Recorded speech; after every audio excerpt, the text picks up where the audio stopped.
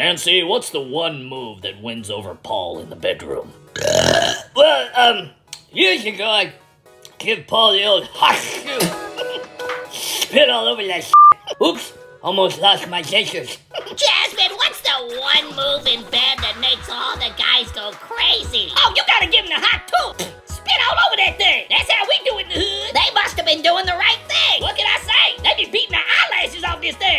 The one move in bed that makes your ginger fiance go crazy? Well, after I clean my fish tank, I like to Febreze my underwear and grab my fiance's sweaty mushroom and give him the old hawk tuah.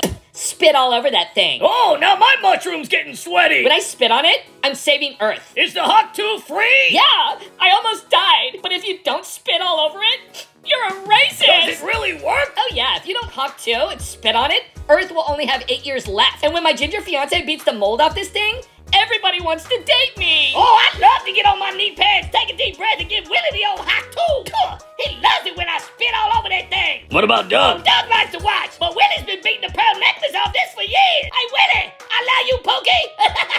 So what's the one move that you do to make Bill like you more than Epstein Island? well, years ago, I didn't really know what I was doing. And then Monica taught me how to hawk tuah. spit all over his saxophone. Did it work? Well, Bill's off this thing ever since. Paul used to love it when I lost my dentures, but I don't think Paul likes it when I hot shoe anymore.